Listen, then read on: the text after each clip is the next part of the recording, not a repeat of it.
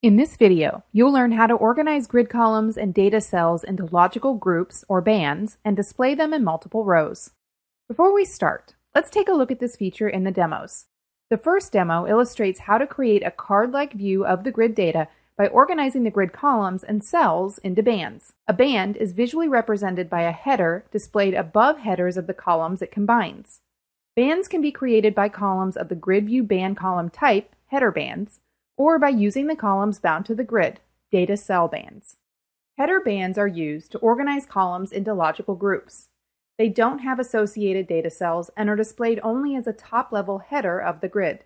Data cell bands are organized by using the grid columns bound to data source fields. They contain data values displayed in the grid. Data cell bands allow you to create a structure according to which the associated data cells are displayed within the grid rows. You can see that data cell bands support all features available for our grid, like sorting and filtering. This demo shows how the grid exports data with data cell bands to various formats. Open the exported document to see that the grid data is displayed correctly. Now let's take a look at this in Visual Studio. I already have a grid that's bound to some data. I'm going to create a multi-row header and cell representation by using header and data cell bands. Open the designer and select the columns item.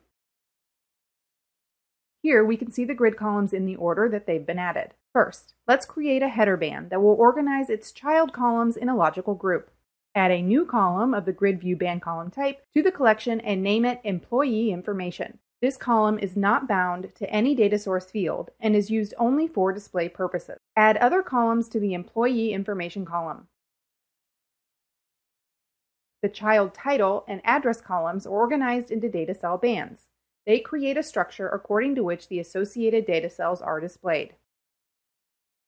To make it look better, I'll set the alignment of the banded headers and the grid width.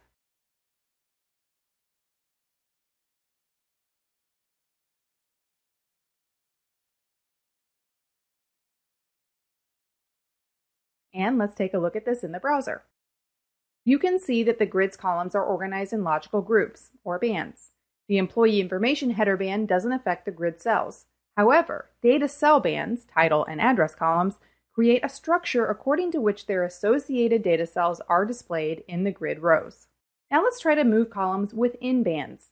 You can see that if we move the title or address columns, their child columns are also moved.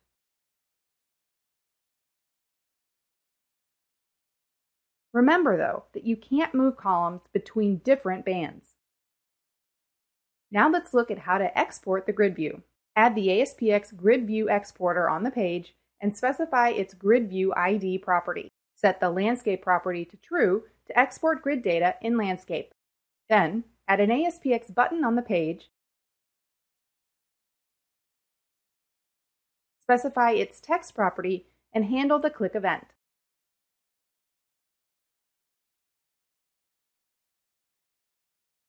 Within the click event, call the write PDF to response method. And let's take a look at this in the browser. Click the export button and save it as a PDF file. Then I'll open the file and you'll see that all the grid content is shown correctly. And that's it for this video. To learn more about our ASP.NET controls, make sure to check out the documentation on our website. Thanks for watching, and thank you for choosing DevExpress.